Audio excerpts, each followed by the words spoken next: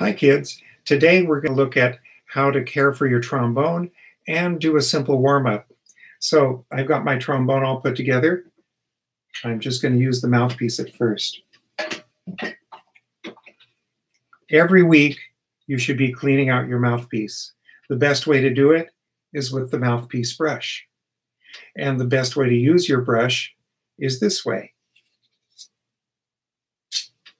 Put it in, and yank it out. You can put it in a little bit this way too and yank it out. And that, get, that loosens all the deposits that may have gathered in your mouthpiece.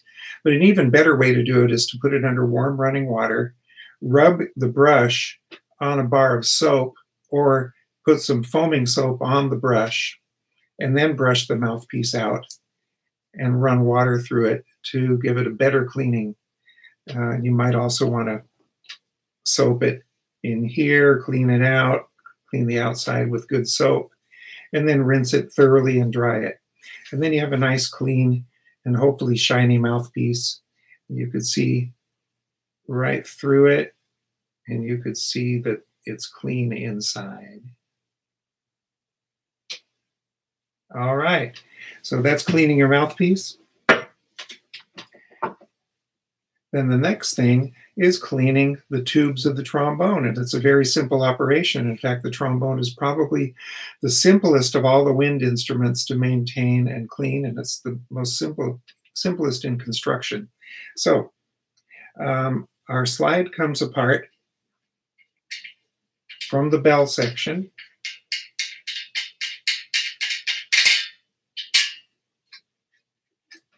And the slide also comes apart into two pieces. So I'm going to unlock the slide and bring it out like that. So first,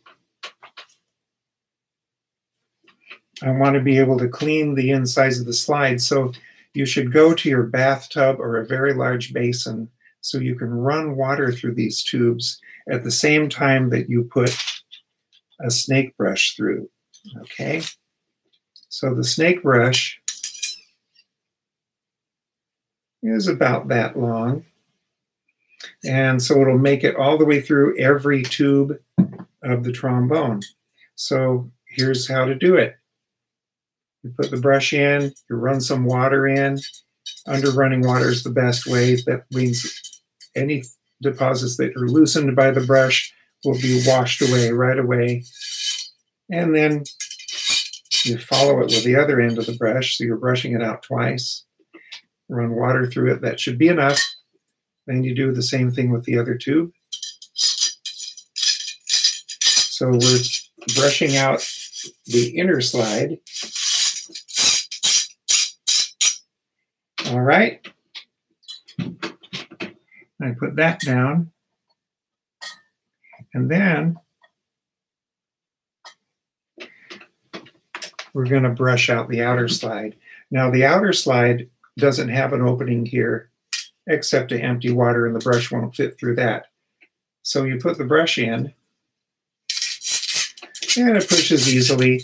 Then when you come up to the curve, it gets harder to push. So you push it through the curve for a few inches and then pull it back out. And the best way to do it is with some running water going through it. The same thing on the other side. Put the brush in, keep pushing until it meets the curve. It gets a little harder to push. Push it further. Don't push it in because that's going to be an emergency. You're not going to be able to get that brush out without doing something pretty extreme. So don't push it all the way in. Take it back out. And that will clean this out adequately, and especially if you're rinsing it out under warm running water. Occasionally, you'd want to brush it out using soap and then rinse it real well. So let's say every month uh, you'd want to do this procedure with your mouthpiece, with your with your um, slide brush, with your snake brush. But every week your mouthpiece with the mouthpiece brush. Okay. Now, before I put the slide back, I want to take the inner slide and I want to wipe it off real good. Try and get all the old dirt and grease and water and slide cream and whatever you had on it. And while I'm at it, I wipe just inside the edge too. Okay, then I like to use slide cream. And here's a slide cream that I like to use. Okay, that's what I like to use. And uh, maybe your mom or your grandma um, have used in the past cold cream to remove their makeup. Well, this is very much like cold cream. Um, it's a soft, creamy substance that you can put on your finger and then apply to the lower part of the slide. And you'll see that the lower part of the slide is called the stocking, is a little wider than the rest of the slide. So this is going to come in closer contact with the inside of your outer slide tube. So I put a good layer of slide cream on. Try not to get any over the edge, up to the edge, but not over it. So we don't want slide cream hanging out inside the tube.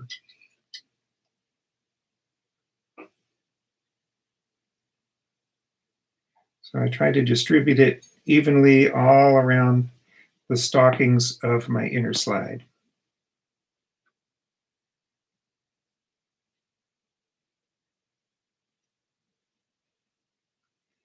And this will allow the slide to move with less friction.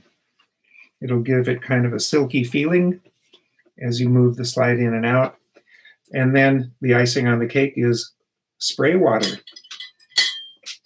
And good trombone players are going to be spraying their slide with water every few minutes that they play to maintain the best and fastest and most friction-free slide movement.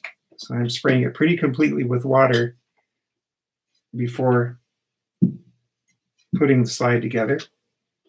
And here we go, putting that slide together.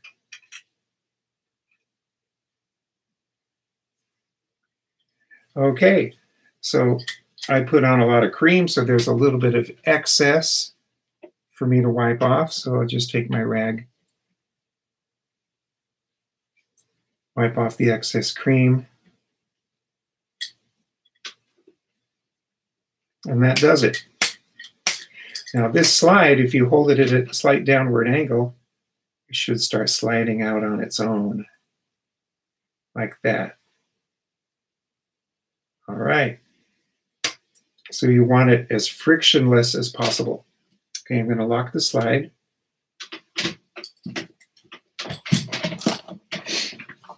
And this part of the trombone, you can also use your snake brush, putting it in here under running water and around. And that cleans this section of tube and, you know, just rinse it out, run water through. Um, this is a movable slide. It's your tuning slide. And the tuning slide, I would recommend every few months as you do a complete cleaning of the trombone, you wipe down these intersections of the slide and vigorously wipe off the old grease and apply new grease. And you apply, apply the new grease sort of like we did the cream, but just in a little bead near the edge, but not getting it over the edge. And I'd like to go for a nice thick grease like the one made by Bach. That's a good brand of grease. So then I apply the slide and with some constant pressure, I can move the slide and set it anywhere I want to be best in tune and it'll stay there. Okay. With that all done, we put the trombone together.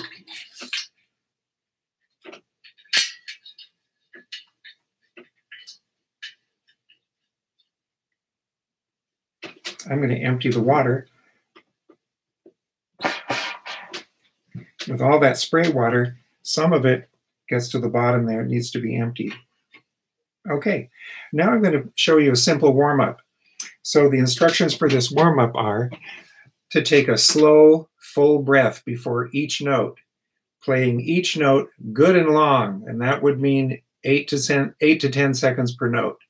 And make sure each note comes out clear, steady, and in tune from the beginning to the end of the note before moving to the next note. So you may have to redo your note now and then just to get the clearest, steadiest, most in tune note. Let's start with low B flat. So pick up your trombones and let's play a low B flat together. Big breath.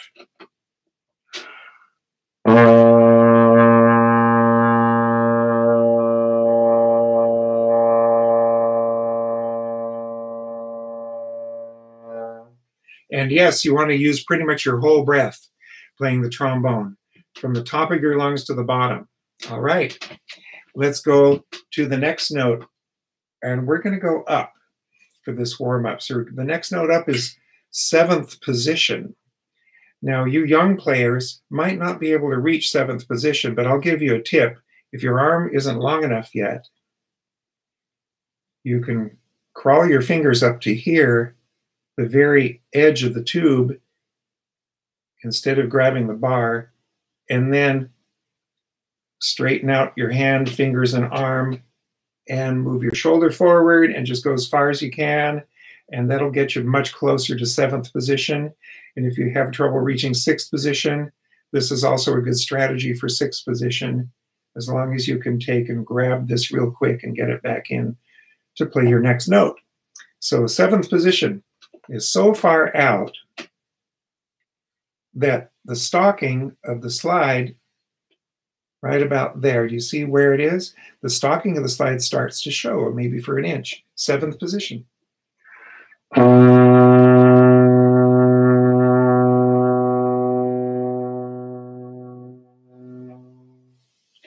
All right, that was a B natural. Now we come into C, low C.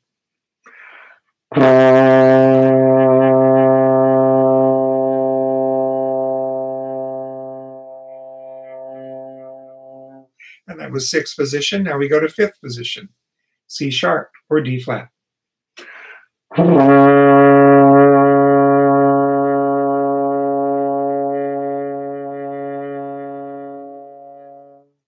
Now, fourth position, D, which from the edge of the bell is out just a few inches.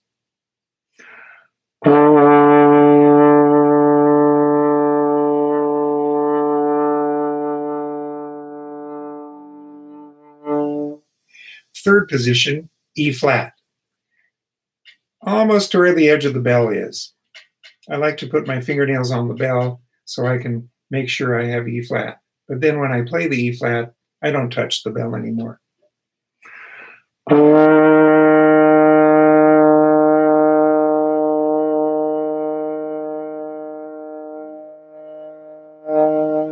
That was third position E flat, now E natural.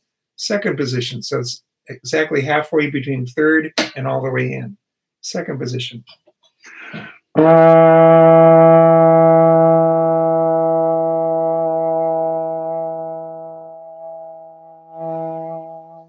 Great, now we're up to first position, middle F. Let's play it.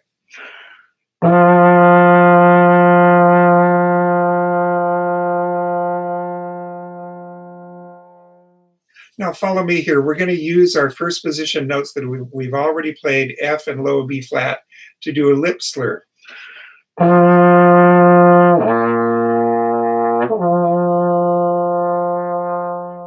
Again, everyone together.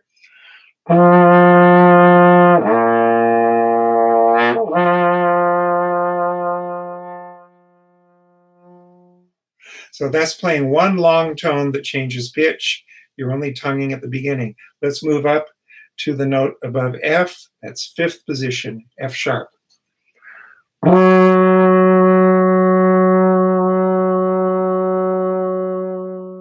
Then fourth position, G.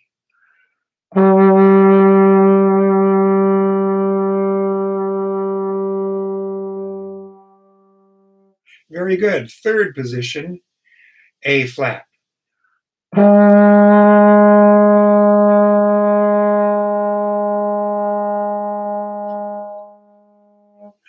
position, A natural.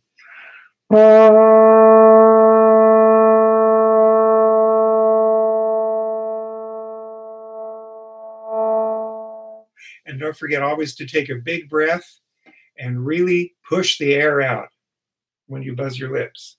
Okay, we have middle B flat now. Now,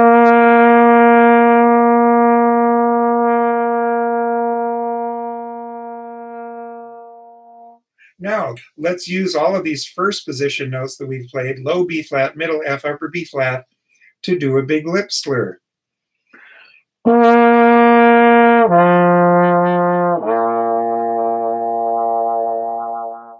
Let's go reverse direction, low B flat going up to F and upper B flat.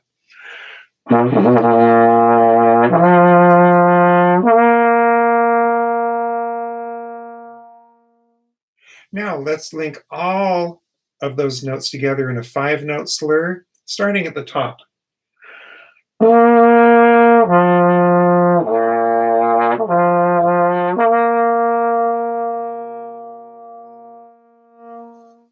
And then a five note slur in reverse, starting and ending at the bottom.